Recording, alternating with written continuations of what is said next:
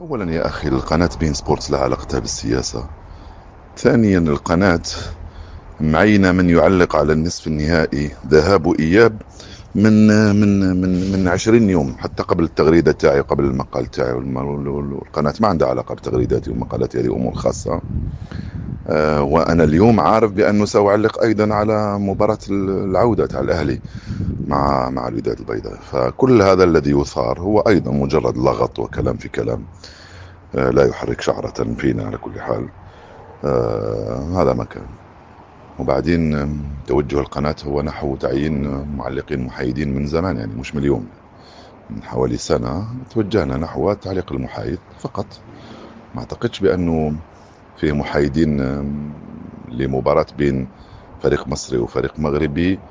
المحايدين الوحيدين هو جزائري وتونسي فما اعتقدش انه فيه فيه شخص ثاني بس نعلق على ذهاب الزمالك ونعلق على عودة الأهلي على مباراة العودة على الأهلي. عادي جدا. بعدين بالإضافة إلى كل هذا مباراة تلعب على أرضية الميدان وليس في الاستديوهات ولا في ميكروفون المعلق. مباراة تلعب على فوق أرضية الميدان من يريد أن يختفي وراء أي إخفاء فليبحث عن عن حجج أخرى بعيدا يعني عن الإعلاميين وبعيدا عن الجماهير وبعيدا عن كل هذه الأمور يعني.